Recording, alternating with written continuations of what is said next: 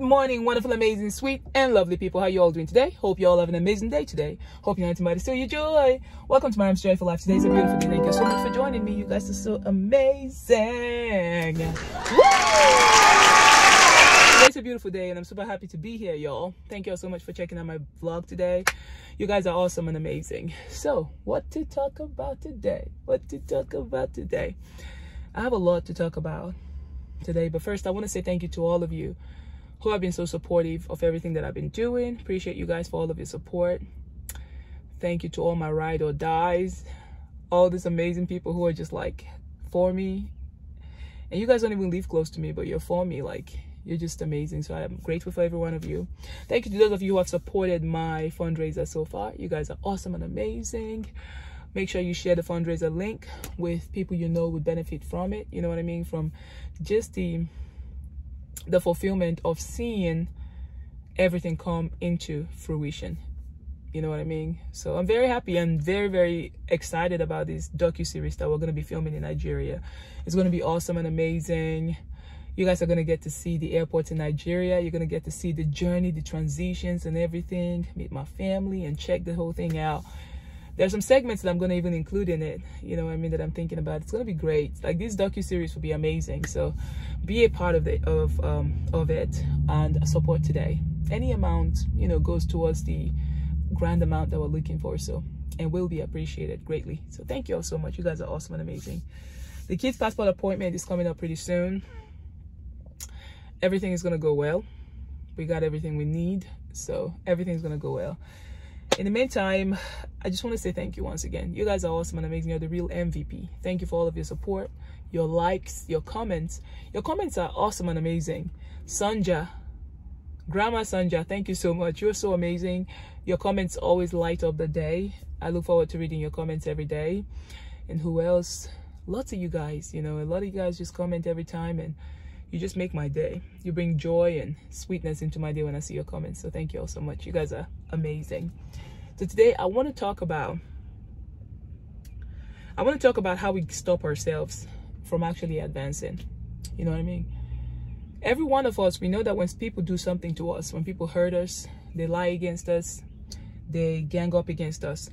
The plan behind all of that gang up and the thing that he did is to stop us from truly becoming who God has created us to be, is to discourage us from taking steps towards the goals that God has given us and goals that we set for ourselves is to make our lives miserable. You know what I mean? Because the devil uses people just like God uses people. And we all have the ability to say yes or to say no. So, but most of the time we focus on the outward and we think that it's all people, it's all them, it's all them, it's all them, it's all them. And we really don't take responsibility of our part. So, in my case, when I was betrayed and lied against and but but the person I cared about and some people, I um it was heartbreaking and I was wondering why. You know, I asked God why, why, why me, why that, why this? Because they should have known better.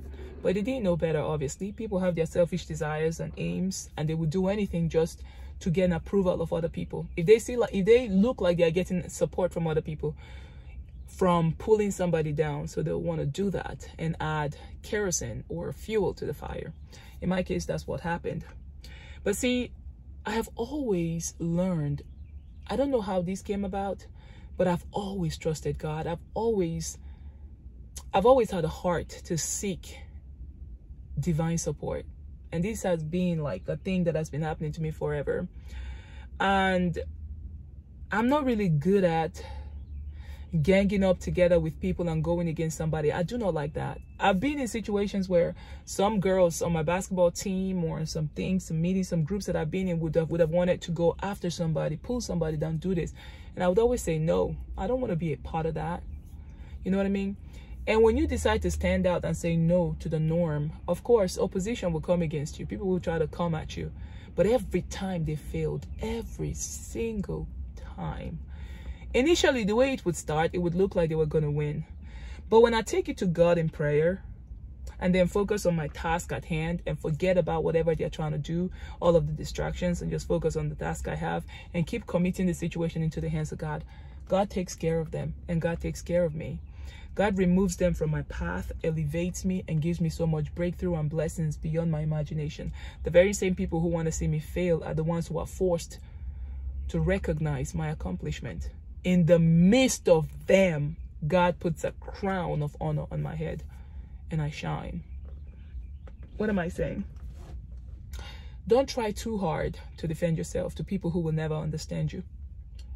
Don't try to fight for yourself. Let God do, fight your battle for you. You just focus on what God has placed in your hands, your business, your children. You just focus on being the bigger person. You know, yesterday I read this um, post by Pastor Kim. She said, don't clap back. It's a paraphrase. I can't remember exactly what it is, but I know the meaning of the post, the meaning I got from it. Don't clap back. This is a season where you don't clap back. You let God clap back for you. You just focus on the task that God has placed in your hands. You just focus on building yourself. You just focused on communicating and, and making your relationship with God stronger. And don't worry about those people doing you wrong, gossiping or saying all kinds of negative things about you or against you just so they can get support from people or they can form a group of negative people who are trying to pull others down and, and you're like the one who's currently on their radar. Just the same people God is going to use to announce you to bring greater support and opportunities your way. They're just going to give you free press, which will lead to your breakthrough. And God is going to use everything that the enemy is meant for evil for your good. So you don't worry about them. Don't worry about them. And that really touched my heart because that's exactly what I do. I used to, I remember when I, I didn't used to do that as much as I do now. I focused on trying to prove myself and trying to get back and clap back. It was exhausting, y'all it was so exhausting. I could not believe it. Like I was so tired because the enemy is relentless. If you want to play the enemy at his with this game and try to go back and forth because he wants your attention, he knows that if he can steal your attention, he's stealing your energy. And whatever you put energy into, it fires up. It's like pouring, adding fuel to the fire. It just blows up. So I have realized that the best way to answer the devil is to not focus on the devil. Focus on God. Focus on what God has placed in your hands bind the devil. Give that situation to God. When you give it to, to God, the devil will disappear. All you will see is the glory of God. Everything that is planned to harm you, God is just going to turn it in your favor. It's not going to stand. It's not going to prosper. And that's the plan of God for us. God has so much for us, peace and joy and sweetness and a wonderful life. But we stand in the way of that blessing by trying to fight battles that God is the one who should, who should be fighting. The Bible says the battle is mine, saith the Lord. So this is not, this really, this is not the age of, of, of religion where you're going to do it, oh God, you cry in the secret and then you go out there trying to figure out ways to appease your enemies. Hell no. The Bible says the kingdom of God suffered, suffered violence, only the violent take it by force. What does it mean? What does it mean? It means to take your battle to the throne. Say, God, I know that you see this. Fight my battle fight my battle. Thank you, because nothing can stand in your way, so nothing can stand in my way.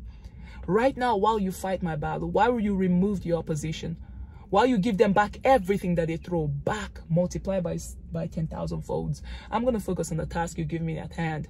I'm going to focus on the growth and the expansion. I'm going to focus on this, Lord. Expand me, increase me. You see what I'm saying? When you focus on the good, you focus on the lovely, on the true, everything else will take care of itself. Everything else will take care of itself. And this is true in my life. For a long time, I was expecting certain people to do certain things that they were supposed to do, to play their own part and do their fulfill their own responsibilities, but they were not.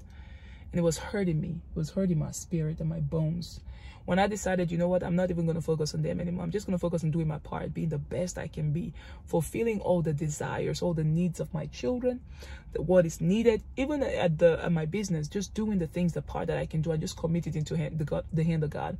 Not only has God increased me in the, in terms of um, experience, but giving me peace and joy and stability and wisdom like I've never had before. Why am I telling you guys this?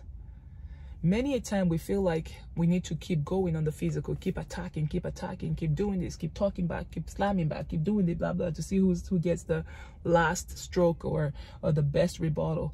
Y'all, the best response is still silence. Silence is still the best response. When you've done everything you know how in the physical, you've tried to respond, you've tried to clear your name, you've done all of that, and it's still not working. Stop. I'm not saying you shouldn't do that because me, I would do that once or twice to make it known that I at least I did something, and then I stop. You stop getting back, baby. You stop it. Now you go back to the silence. You meditate on the good. You focus on the good. You call forth the good. You surrender everything to God and watch God come through for you like never before. That's it. If God is fighting my battles, then I shouldn't be fighting my battles. I should be at peace. I should be enjoying the blessing, right? So in order to enjoy the blessing, I actually have to enjoy the blessing. And how do I do that? By letting go of the things that are not the blessing. So I don't know who I'm speaking to today, but I know I'm speaking to myself. When I've done the best that I know I can, I got to let the rest go and let God handle the rest. There's nothing else I can do, so we'll let God handle the rest. And once you step back and you quit resisting and doing too much, you see how the grace of God will take care of the rest. And that's exactly what's happening to me in my life. And, you know, just wanted to share with you guys. I hope this message touched your heart in some ways. If it does, if it did, make sure you like and subscribe. And comment in, in the description box below. Eh, not the description the comment section below. And let me know how it is that you're allowing god fight your battles. How are you doing it? How are you letting go and letting god? How are you to let go and let god today I want you to comment in, in the in the comment section. I'm used to saying description box, but in the comment section below, comment. I know some of you guys will say, Maryam is difficult. Is it? No, it's only difficult because you make it difficult because you're so used to talking back, so used to fighting and trying to clear your name. Yo, no matter how hard you try, you can never clear your name. You can only say, but it's your word against theirs. I'm saying that if you've been trying to do that, it's stealing your peace and your joy, and there's nothing else you can say. Be quiet, go to your clo- your prayer closet, pray about it, and let God handle it, and don't focus on it anymore. Focus on the task at hand. Let God fight it. When people try to bring your mind to it, say, no, God is fighting it. I am not going to worry about it. I'm not going to think about it. I'm going to let God fight my battle. That's what I'm saying. And some people are like, oh, yeah, maybe easy for you, but it's hard for me. It's hard for you because you think it's hard. You haven't given it a try. You're so used to trying too hard and trying to clear your name, trying to do this. You get exhausted and lose sleep over something that God has already taken care of. You got to let go.